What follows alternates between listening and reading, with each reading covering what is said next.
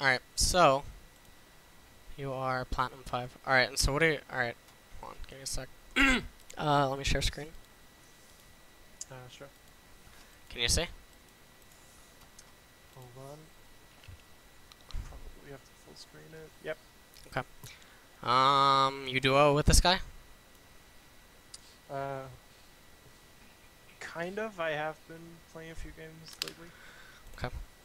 Uh so what do you what do you want? Like what what do you what's your Okay. Um, my main goal would be to get, well, like obviously get better at the game and uh, climb higher up into the rankings. Okay. And you are eight and twelve in your last ranked. Yes, my Okay. ranks have been pretty bad lately. Okay. Uh let me let me go back a while. One month ago. How often do you play? Uh, yeah, recently I've uh, I didn't play much because of exams, but uh, now that they're done, I've been mostly playing normals with friends. But uh, What I was do want to get. Okay, what Go was ahead. your other ID before this? Because your name changed. Um, what was it?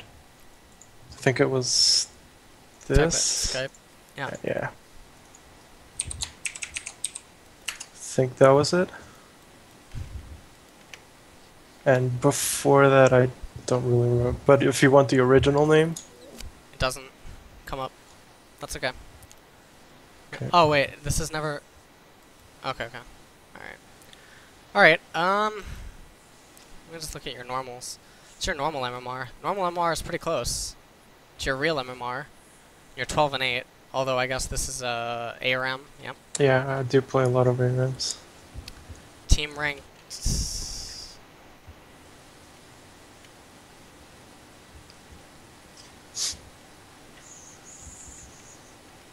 Alright.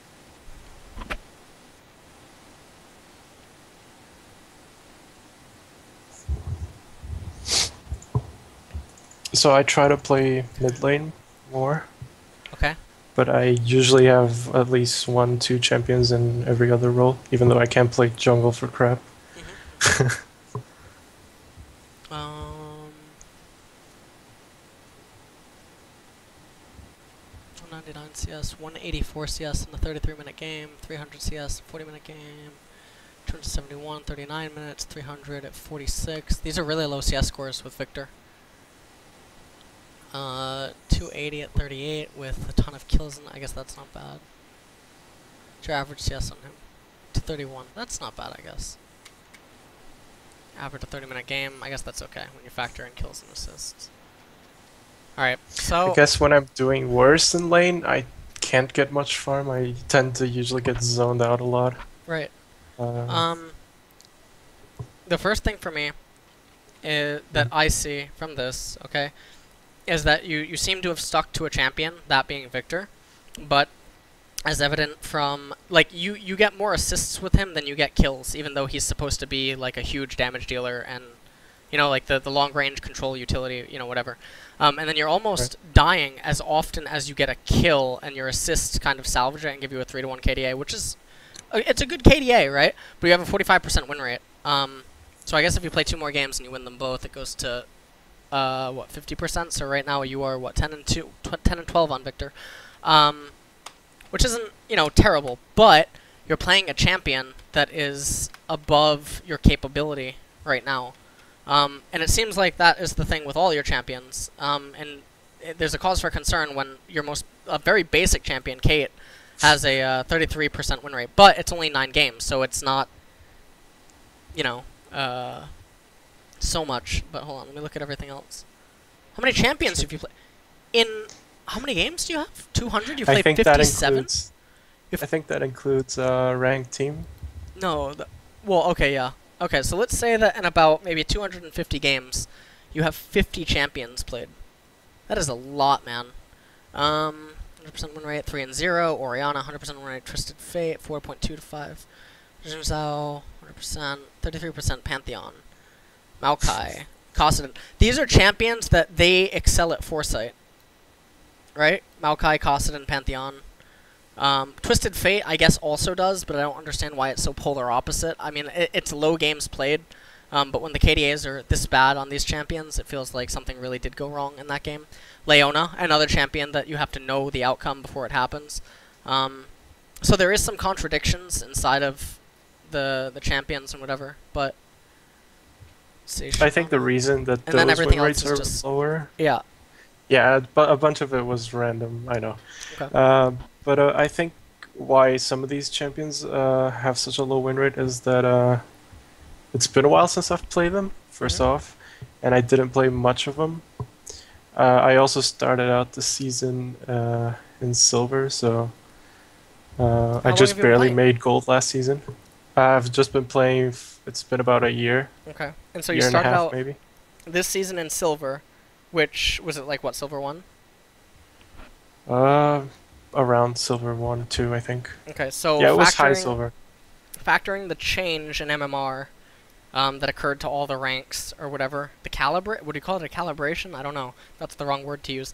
Um, all the MMR tiers were calibrated um, differently because of the addition of Master Tier and because of the addition of, uh, you know, the issues that people were having with Diamond 5 and whatever. So, um, Silver 1 is probably around Gold 4, Gold 5, also when you factor in that players get better and whatever. So, um, it's around the same skill level. So then, when you ascend to Platinum 5 now, it means that you've had a bigger improvement than what you're giving yourself credit for, but you've been led to believe it's not as big as it is because the the tier isn't that much different. It's five, you know, five divisions off. Um, but the the big thing is your champion pool is abysmal. Um, because what's going to happen is you're going to go into these games. Okay, Nidalee has a high win rate, which, I mean, I guess that's good, but I don't see. Oh, I haven't played see. Nidalee in ages. You haven't played Uh, Nidalee I in ages, played- right? Yep. Um, I made Nidalee in- in mid gold when she first came. Uh, when she got her jungle changes, mhm. like her passive could, pro- whatever the hunted thing, could proc on the jungle creeps. Right. Um, two and three with the Xerath. Two and then when Cinderhulk came out, uh, yeah, Right. just Um, stopped playing. Okay, so the one thing that I want you to do is you're gonna change this pool. If you're gonna play mid, you're gonna play mids that cater more to you. Don't play Viktor, because Viktor's awkward as hell. Like not just in terms of game knowledge, like knowing when to upgrade his hex core and what item to purchase and stuff, but he's also awkward because of the combos with his gravity field and when to place Chaos Storm, when to hold it, when to use Q to gain the movement speed, when to purchase uh, Fur enchantment or whatever, you know, on his boots that you can do more stuff, Mhm. whatever. Um, you have a lot of games on LeBlanc as well, not a very high win rate, but it's not the worst win rate, it's not the worst KDAs, it's not absolutely terrible, which leads me to believe that your mechanics are probably around or even, or they're around or they're slightly above people around you, okay? But then when it gets into the later stages of the game, you probably end up faltering really heavy. Okay? Now again, Okay. this is just me saying it without seeing you play. Um, Right. your CS scores aren't the best either. 161 average over 18 games. Kate, I mean, Kate's CS is actually kind of okay. 9 games, 214 average. Viktor's CS is actually okay. But when you go into other champions, like you have a Xerath, 5 games played, average 150. Um, that's not. th- It's not. It's not terrible, but it's not great either. Especially because he's an Mm. extremely long-range control mage, um, that you're having almost a two to one KDA on. Which again, don't take it super bad. Um, so what you're gonna want to do is you're gonna change your your champion picks. Okay, change champions that also share lanes because you're all over the place. You have a jungler slash mid laner slash top laner. I guess Nidalee is kind of a flex because she can go three places depending on how you play her. I'm gonna think that you were playing her jungle. Um, I was, yeah. yeah, just because the the the death score and whatever in relation to the kill and the assist. Um, Thresh, he's a support champion, but he's way too complex because you're also you shouldn't be trusting your AD carries at uh, this tier to also to to interact with Thresh properly. Okay, if you were significantly above this tier, if you were like a Diamond One player or something, yeah, take Thresh and just go and dumpster people, um, because it, it, you will be able to create opportunities which your opponent cannot mess up on you know, like you'll be able to create setups that are just too good, and you'll be able to deny too much stuff because you'll always hit the the knockaway flays, or you'll always not, you know, hit the knock-in flays and whatever.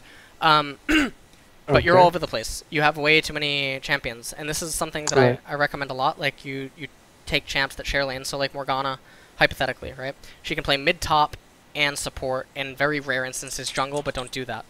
Okay. Um, okay.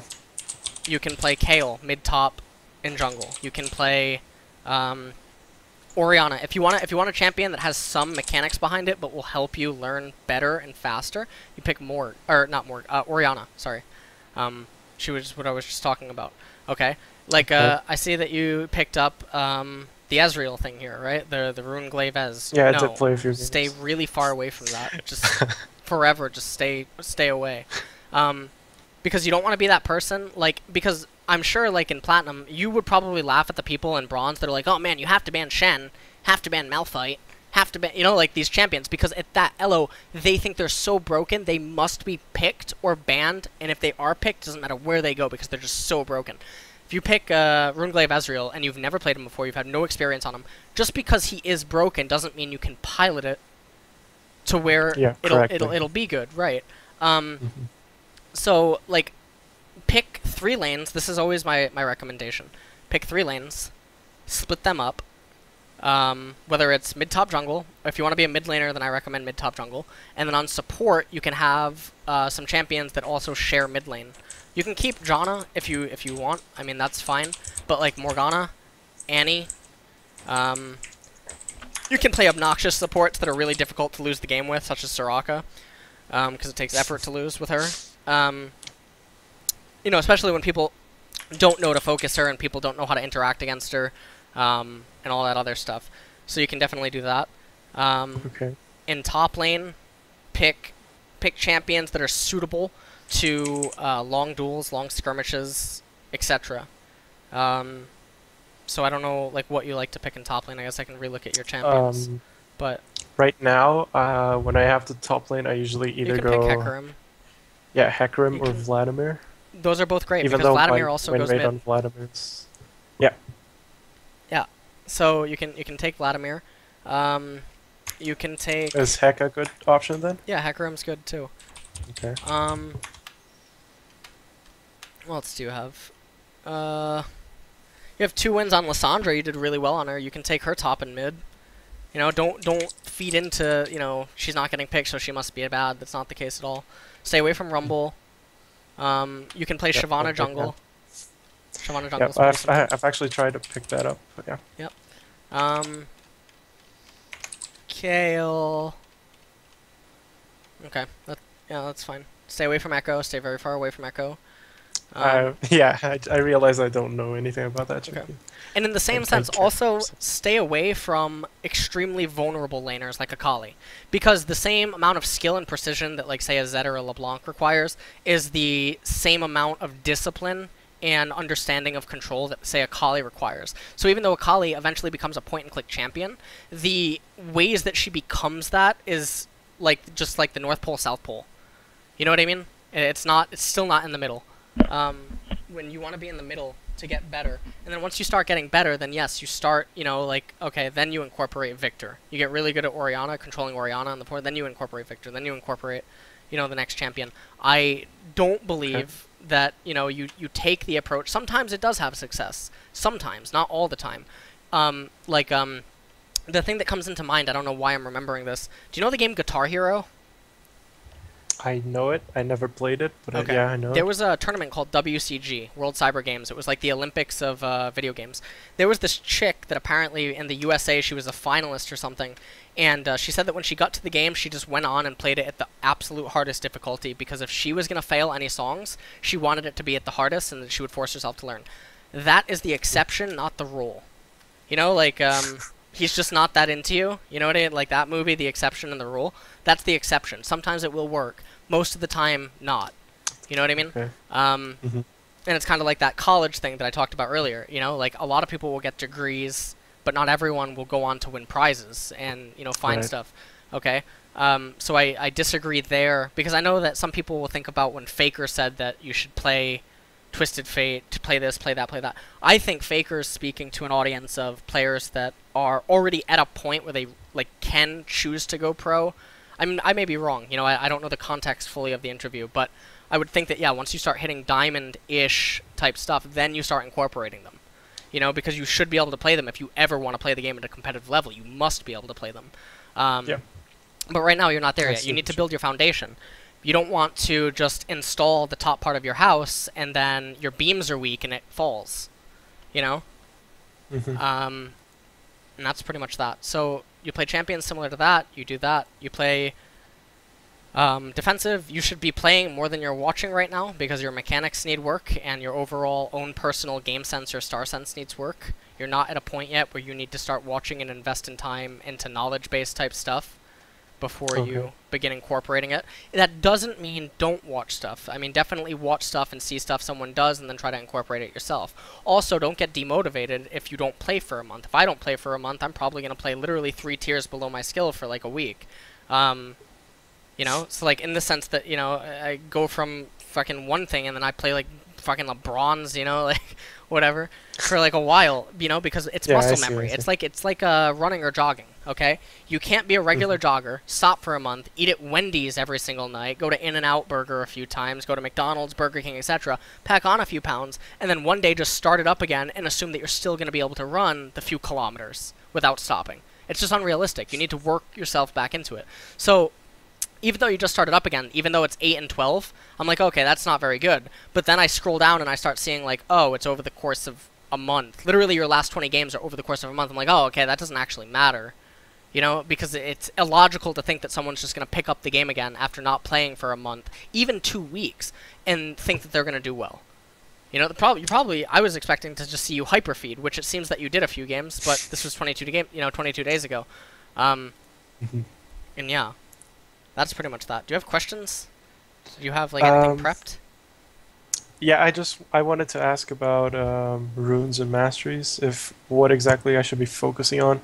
Like uh, lately, I've been running a lot of more defensive setups with magic resist and uh, armor or health. Should I be going for those, or should I be running uh, scaling AP, uh, scaling CDR? You should stuff run like the standard professional rune and mastery page setups. Don't be trying to min max and like like like Apto, right? Like he'll have two glyphs of one thing, one glyph of another, and then six Yeah, I glyphs of something else, right? That's that Uh-huh. has a specific purpose. It has some point in it, whether it's like the ability to last hit a wraith with a laser that otherwise you can't do or something, or you know maybe it's a min max on a cooldown that you need. Like for instance, Kayle doesn't actually need 40% CDR to have her Eon permanently. She needs like 37.8 or something, something like that. It's like 37.8 or it's like 38 point something. Um, for Kayle to permanently have her on her E. That means that yeah, you can take the point out of sorcery, because it's actually it's it's overkill.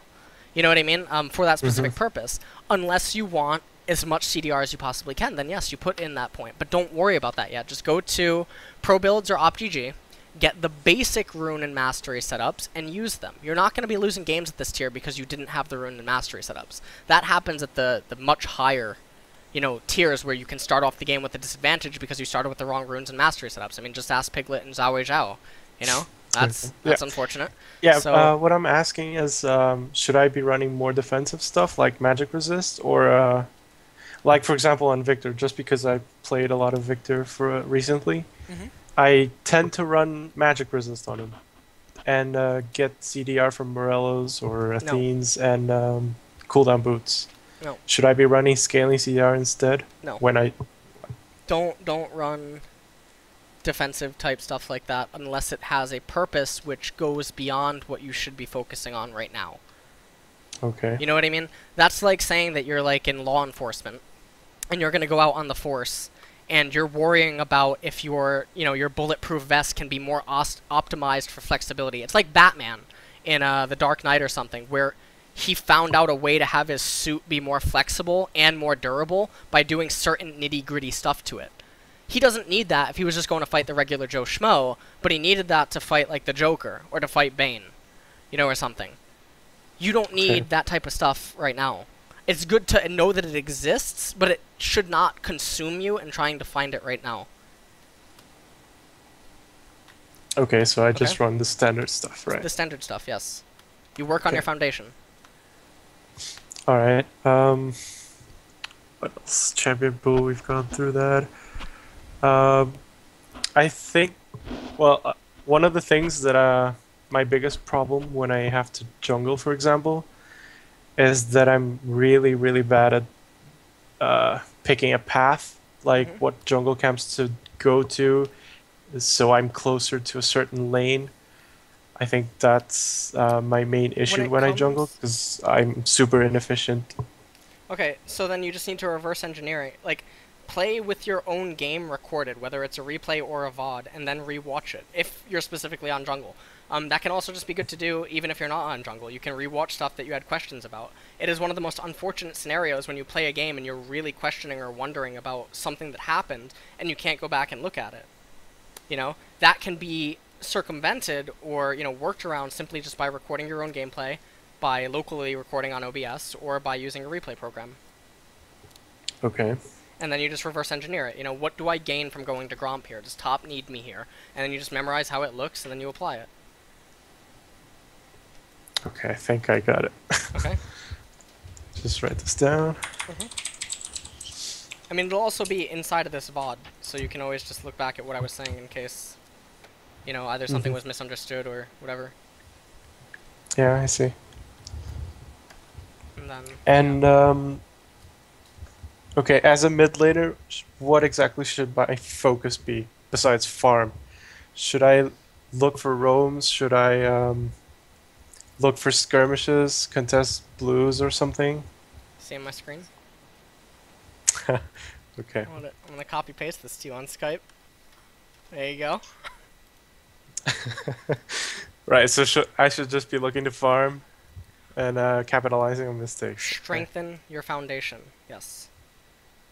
Okay, if you're elo boosting or something, like you're platinum, you want to elo boost to bronze into silver, yeah, pick Tryndamere top lane, never leave the lane and stuff.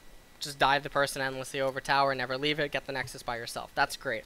Trying to get better and you're at your own level of play, then counter, don't force.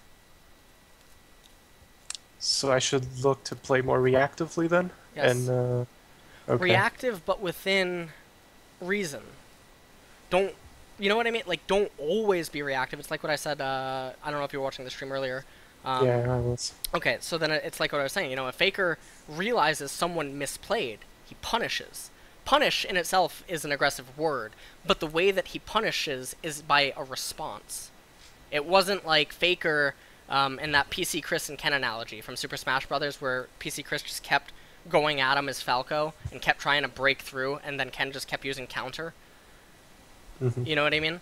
Don't do that. Don't try to be in a lane as Orianna and trying to just always hit them with your ball and stuff, and then you go oom and you don't know what the hell to do. You know? They misstep, you Mhm. would you punish it. Eventually, you will wither them down. You'll have superior CS, okay? Because objective is king, CS is queen, kill is you know rook. Chess analogies. Okay. so objectives, CS, kills later. Okay. Uh, Morgana, Annie, Janna, Soraka, Kayle. Yeah. Okay. Okay. Yeah, I think I got it. All right, and then for AD carries, play the basic ones as well. But I'm sure that you can assume who I mean off that. You know, Uh, Graves, Lucian, Graves, Lucian, Caitlyn, Jinx. Caitlyn. Okay. Like I've been playing a lot of. Ca- I think I play a good, a decent Caitlyn. I usually I mean, your can was win. okay. Yeah, and I usually pressure the other AD carry enough, but it seems that when I do play AD carry, every other t- every other lane is screwed, and uh, AD carry we is get four probably man dive. the most difficult lane to carry with. Um, Yeah, gold through gold through diamond. By far, it is probably the hardest lane to carry with gold through diamond. Unless you were significantly above that uh, that tier or something. hmm Um, if you're trying to climb and stuff and improve at the same time, mid top jungle, 100%. Yep. Okay. Okay. All right. I should be looking to play more uh, now uh, with these champions, and uh, okay. I Okay. think I got it. All right, Yep. man. And also upgrade your trinkets. I didn't say that before, but be be conscious I think usually in ranked I do play. Okay. I do upgrade yeah, it, the it seems so. It seems so. Yeah. Okay. All right. I just clicked rank. Sorry. All right. Okay. All right, man. Good luck. Okay. If you have anything else, ask me on this Skype or the other Skype. It doesn't matter. Okay, Alright. I will. Alright, man. Talk to you later. All right. Thank you. Yep. Bye. Bye.